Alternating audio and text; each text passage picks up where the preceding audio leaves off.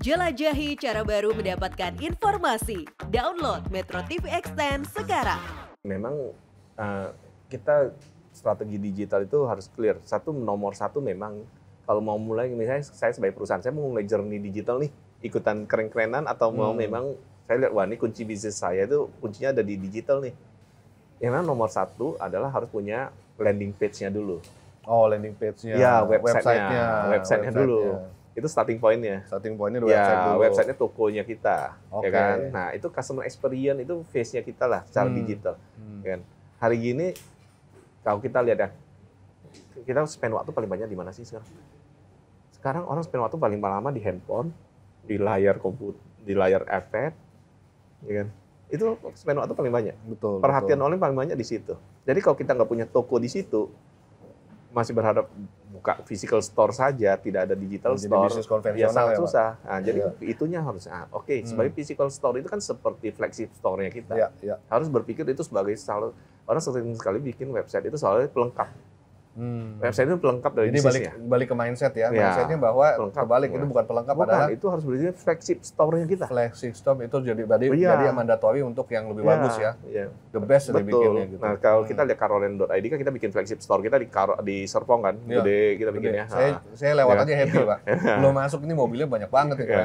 Ya, kita kan bikinnya seperti itu. Ya, flagship store ke- physical yang digitalnya nggak boleh kalah, malah harus lebih lagi. Justru itu ya. Harus lebih lagi. Saya lihat tadi eh, apa eh, secara digitalnya bagus nih gitu. Ya. Makanya tadi saya sampai saya tanya apakah kantornya ada di Serpong gitu kan. Karena Ya. tadi flagship store-nya itu keren banget sampai berapa layer, mobilnya banyak. Iya. Sangat keren sih saya bilang gitu. Nah, jadi pertama memang website-nya Ya, itu. dulu. Ya, website harus harus berpikir mindset kita harus bahwa itu flagship store kita, bukan Hmm. cuma pelengkap. Nah, itu. Nah, baru terus kemudian mikir strategi narik orang datang. Hmm. Kalau yang bisnis offline kan narik orang datang dan promo dengan ini. Kalau ini ya bagian pakai digital channel dengan sosial media da- dan lain-lain. Udah omni channel harusnya ya. Harus omni channel. Omni channel ya. Gitu. Ya udah masuk TikTok juga, Pak. Udah. Wah, kita kita kita selalu ada konten bisa dilihat ada Di konten-konten TikTok ya. TikToknya dan ya namanya konten dengan digital marketing kan satu lagi relationship itu harus dibangun Betul. ya bangun relationship tidak harus langsung jualan harus ada relationship dulu sebelum bisa jualan awalnya adalah brand awareness Iya, dulu, engagement dulu. dulu.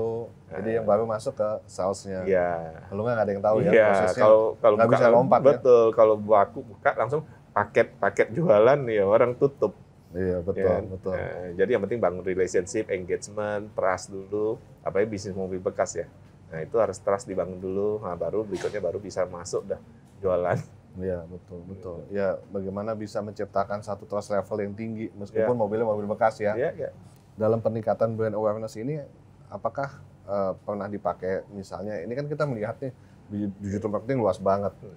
Ada yang namanya KOL, key influential leader Hmm, ya. atau em, Ya. artis kah atau apa gitu. Ya. Tadi cerita brand awareness, Ya. Pak. udah pernah dicoba ke arah sana nggak? Ya.